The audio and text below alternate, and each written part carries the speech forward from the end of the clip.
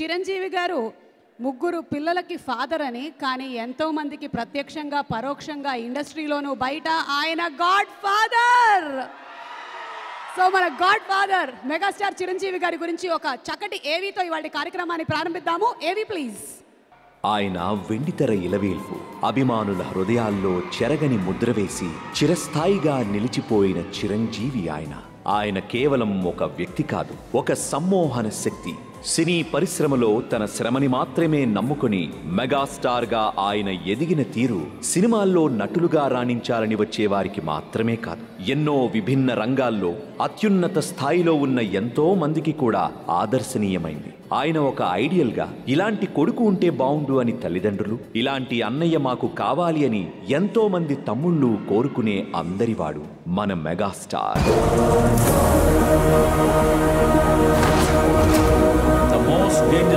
Man, Brahma. దాదాపు నలభై ఏళ్ళ క్రితం తెలుగు చలనచిత్ర పరిశ్రమలో అడుగుపెట్టి అవిశ్రాంత సైనికుడిలా ఒక్కో అడుగు వేస్తూ ఒక్కడే ఒక్కొక్క విజయాన్ని సాధిస్తూ తెలుగు సినీ సామ్రాజ్యాన్ని ఏలుతున్న మకుటం లేని మెగా మహారాజు ఆయన. నంబర్ వన్ స్థానంలో రెండు దశాబ్దాలకు పైగా నిలబడ్డ స్టార్ ఆయన. ఈ స్థానం ఆయనకు జస్ట్ లైక్ దట్ లాగా రాలేదు. దాని వెనుక ఆయన నిరంతర కృషి అకుంఠిత దీక్ష ఉన్నాయి. ఆయన ఫ్యాన్స్ ఎంతో మందికి ఆయన సినిమాలు ఇన్స్పిరేషన్ డాన్సులతో ఫైట్లతో తెలుగు సినిమా స్థాయిని తారాస్థాయికి చేర్చిన all time trend setter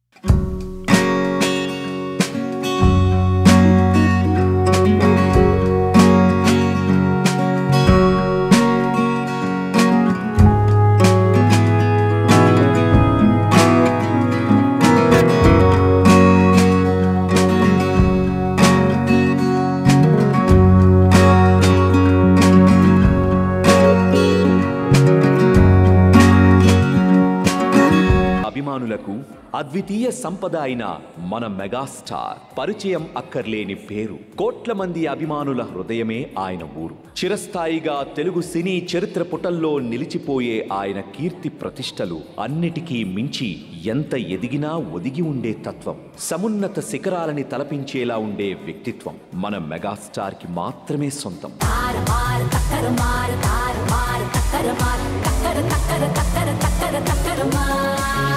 real లైఫ్లో మాత్రమే కాదు రియల్ లైఫ్లో కూడా ఎంతో మందికి ఎన్నో రకాలుగా సాయం చేసిన రియల్ హీరో ఆయన.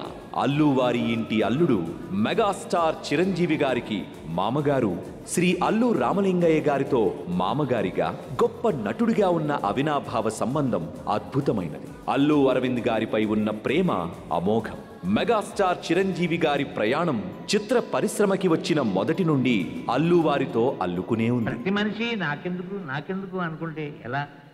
మహాత్ముడు నాకెందుకు అనుకుంటే స్వరాజ్య పోరాటమే లేదు.